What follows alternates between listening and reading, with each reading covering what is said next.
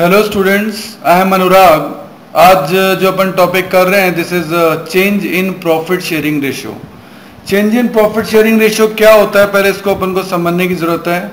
मान लेते हैं ए बी और सी तीन पार्टनर हैं, जिनका अभी प्रॉफिट शेयरिंग रेशियो जो है, वो five is to three is to two है।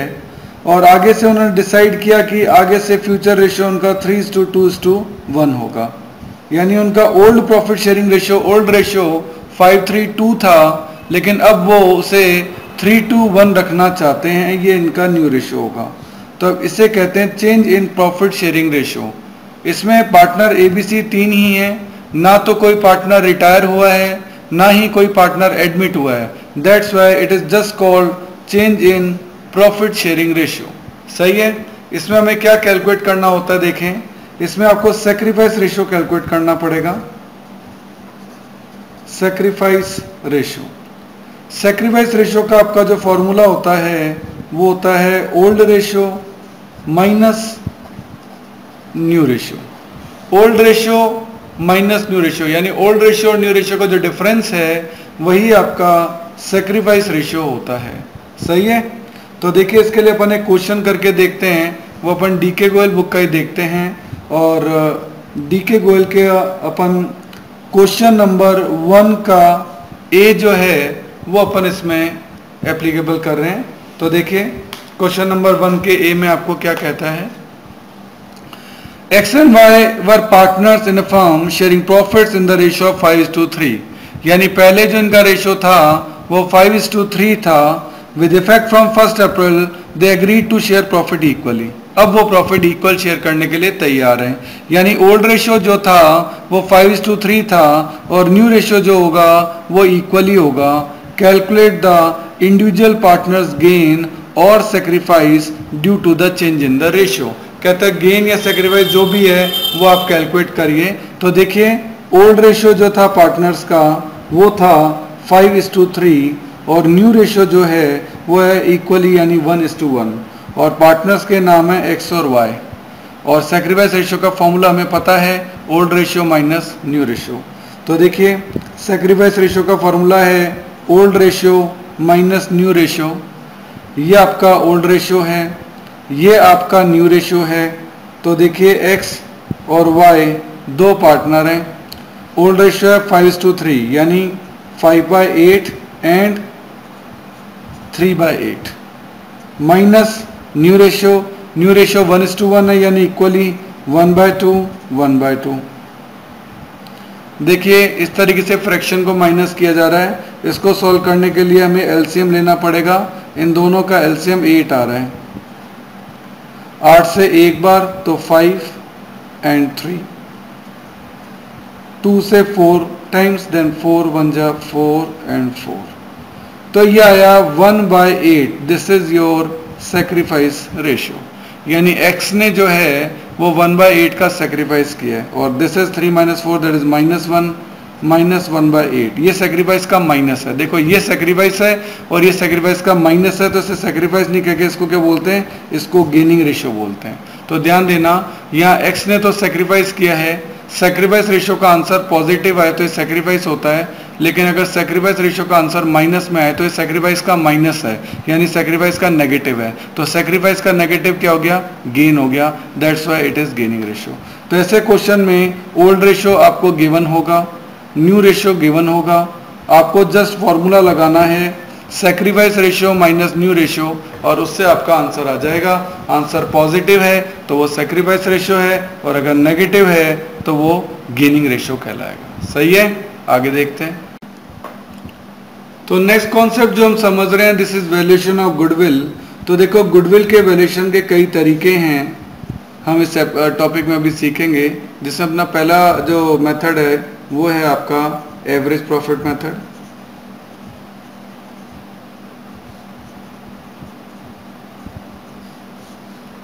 number two है आपका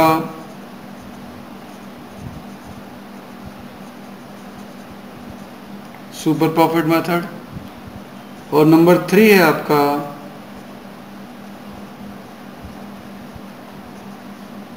कैपिटलाइजेशन मेथड। तीन मेथड होते हैं आपके। अपन बारी बारी से जो मेथड है, वो लेंगे। और सबसे पहले हम ले रहे हैं एवरेज प्रॉफिट मेथड। कि एवरेज प्रॉफिट मेथड कैसे होगा? इसके लिए हम डीके गोयल का क्वेश्चन नंबर फोर जो है, वो ले रहे हैं। तो देखिए, पूरा क्वेश्चन जो है, वो कुछ स्टेप्स में बटा हुआ होगा। उसके अकॉर्डिंग अपन को करना पड़ेगा। क्वेश्चन में क्या क्या दे रखा है? क्वेश्चन फोर में वो जरा देख लें अपन। X sold is business to Y X ने अपना बिज़नेस वाई को बेच दिया।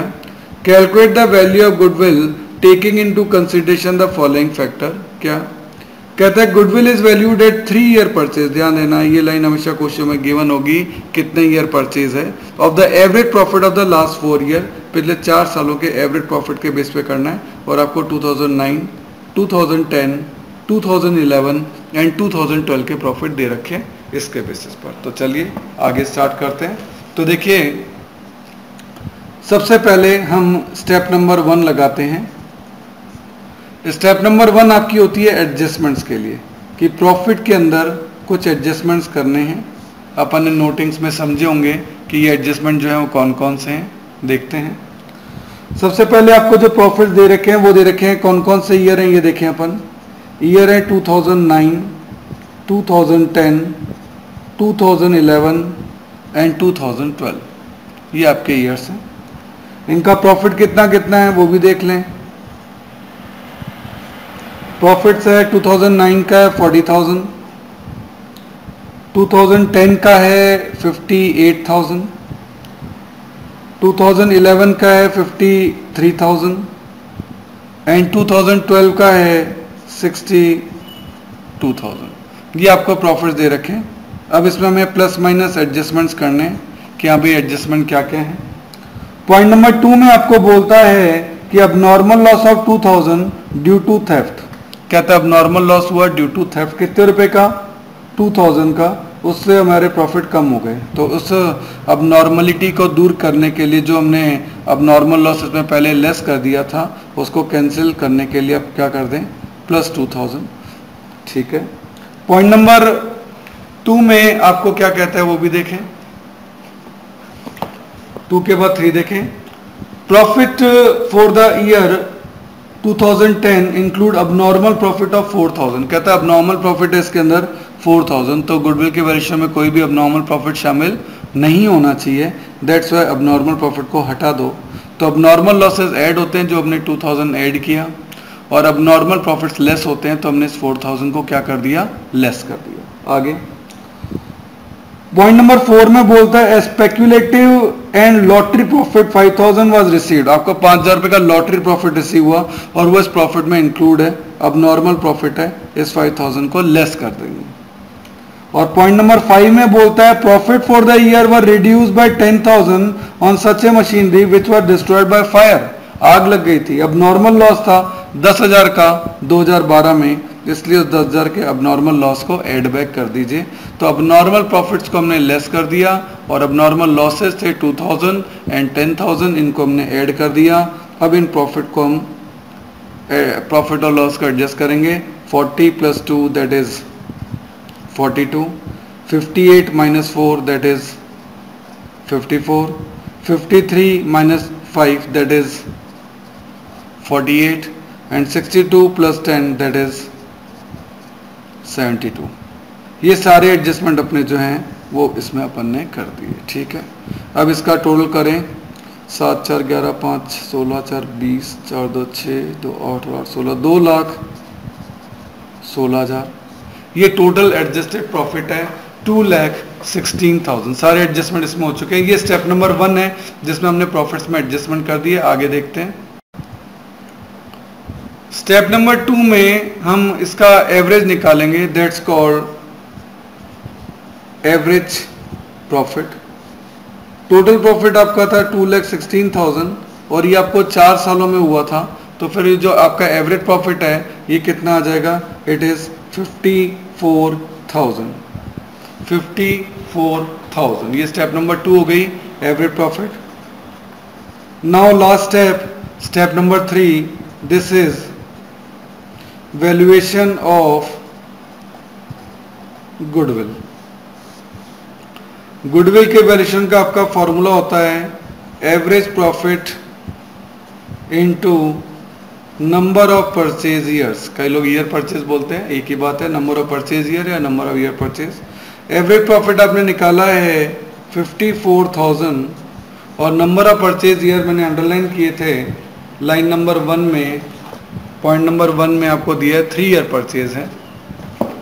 तो 54,000 thousand into three number of purchase year के आगे जी लिख रहा हूँ। जी का मतलब ये हमेशा गिवन होता है आपको कभी कैलकुलेट नहीं करना।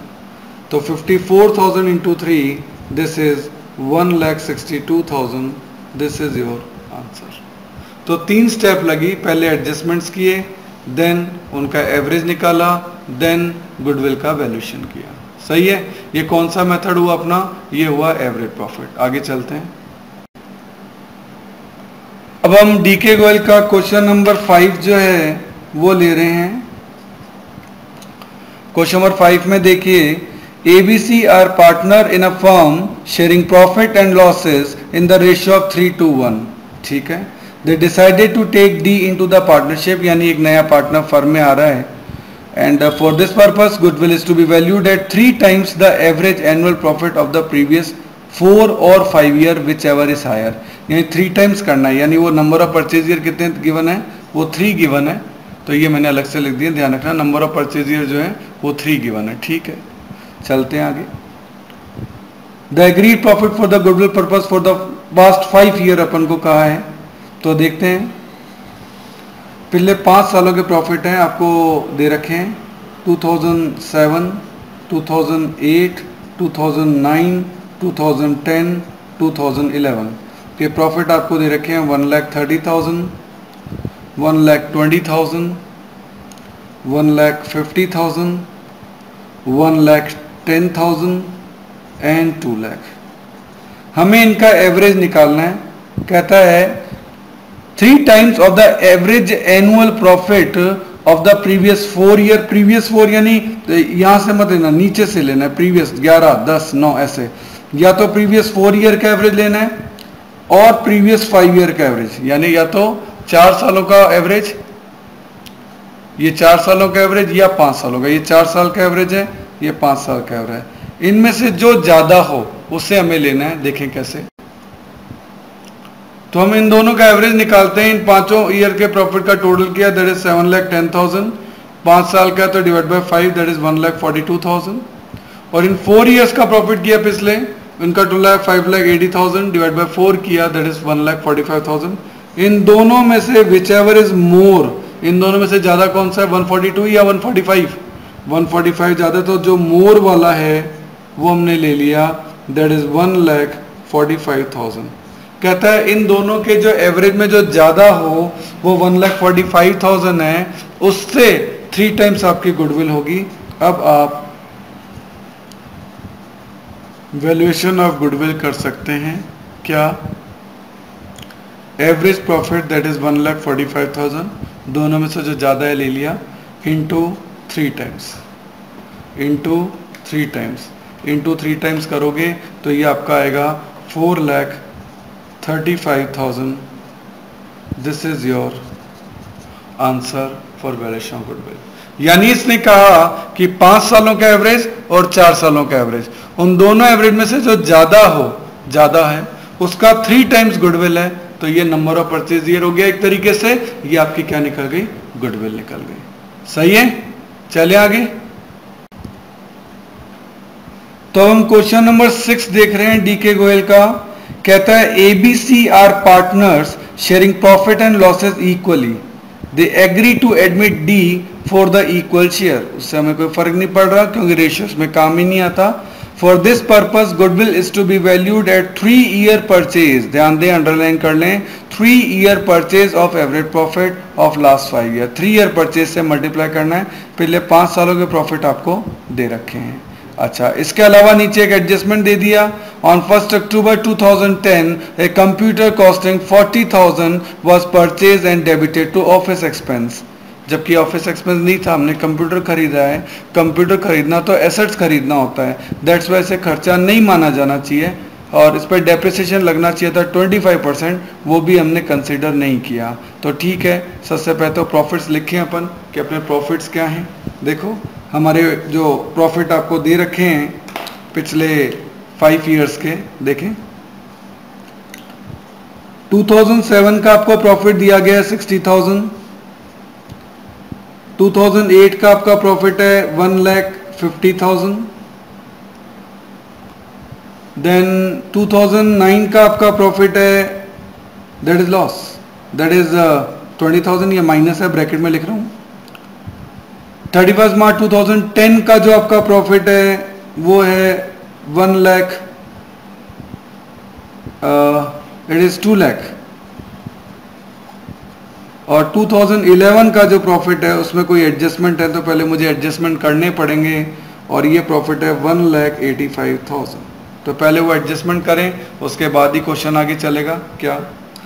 सबसे पहली बात तो ये कि नीचे लिखा है ऑन फ़र्स्ट अक्टूबर एक computer costing forty thousand was purchase and debited to office expense हमने उसको ऑफ़िस एक्सपेंस मान लिया, जबकि हम जानते हैं कि कंप्यूटर परचेज करना एक्सपेंस नहीं है इट इज़ एसेट्स हमने एसेट्स खरीदी है तो इसको खर्चा नहीं मानना चाहिए था, पर हमने फोर्टी थाउज़ेंड का खर्चा मान के लेस कर दिया है तो उस फोर्टी थाउज़ेंड को वापस क्या करें? ऐड कर दें. कंप्यूटर की कॉस्ट है, वो हमने ऐड कर दी because this is not expense this is purchase of asset दूसरा अब ये अगर एसेट है तो उस पर डेप्रिसिएशन लगना चाहिए। तो लास्ट लाइन में लिखा है कि कंप्यूटर पे डेप्रिसिएशन की रेट 25 परसेंट है। और क्योंकि ये एक अक्टूबर को खरीदा गया था तो एक अक्टूबर से लेकर थर्टी मार्च तक सिक्स मंथ होते हैं। एक अक्टूबर से थर्टी मार्च तक सिक्स मंथ होते हैं तो छः महीने का डेप्शन लगेगा। यानी फोर्टी थाउज़ेंड का, ध्यान दें फोर्टी थाउज़ेंड का ट्वेंटी फाइव परसेंट और वो भी सिक्स मंथ के लिए। सही है? तो फोर्टी थाउज़ेंड का ट्वेंटी फाइव परसेंट होता है टेन थाउज़ेंड टेन थाउज़ेंड का सिक्स बाई ट्वेल्व हो गया फाइव थाउज़ेंड तो फाइव थाउज़ेंड का डेप्रिसिएशन भी लगना चाहिए। वो आपका नुकसान है, वो प्रॉफिट में से अब तक लेस नहीं हुआ था तो वो डेप्रिसिएशन लेस हो जाना चाहिए फाइव थाउज़ेंड तो one eighty five minus five that is one eighty one eighty plus forty that is two twenty तो ये प्रॉफिट 185 नहीं लेना, उसमें कंप्यूटर और डेप्रिसिएशन के एडजस्टमेंट होंगे। ये प्रॉफिट कितना लेना है? टू लैख ट्वेंटी थाउज़ेंड तो ये प्रॉफिट अपन ने कितना ले लिया? 220 तो इसके अंदर ये एडजस्टमेंट जो है ना, ये करने ज़रूरी है। ये एडजस्टमेंट करने के बाद ये प्रॉफिट जो है ना, वो सही प्रॉफिट निकला है। इसमें एडजस्टमेंट नहीं हुए थे, अब एडजस्टमेंट हो गए हैं। अब आप प्रॉफिट का टोल करें। अब इसका टोल करेंगे तो ये आपका आएगा, देखो sixty thousand plus one lakh fifty thousand minus twenty thousand plus two lakh plus two lakh twenty thousand that comes six lakh ten thousand अब ये कितने ईयर हैं? फाइव ईयर हैं? तो इसको डिवाइड क्या कर दो? फाइव तो आपका एवरेज प्रॉफिट निकल जाएगा। तो six lakh ten thousand divided by five that comes one lakh twenty two thousand one lakh twenty two thousand है एवरेज प्रॉफिट अब आप वैल्यूएशन ऑफ़ गुडविल निकाल सकते हैं। फॉर्मूला है average profit into number of purchase year और question में number of purchase year दिए गए थे लिखा है सेकंड लाइन में। For this purpose goodwill is to be valued at three year purchase लिखा हुआ है थ्री ईयर परचेज इसको थ्री से मल्टीप्लाई कर दीजिए। One lakh twenty two thousand into three that is three lakh sixty six thousand this is your answer तो इस तरीके से पहले प्रॉफिट लिखे। एक प्रॉफिट में एडजस्टमेंट करना था। कंप्यूटर जो कि खर्चा नहीं है, उसको ऐड किया और उस पर लगा डेप्शन जो कि खर्चा है, उसे लेस किया। ये सही प्रॉफिट निकला। इसका एवरेज निकाला और उस एवरेज को थ्री ईयर परचेज जो कि गिवन था, उससे मल्टीप्लाई कर दिया, उससे आपकी गुडविल निकल गई। सही है?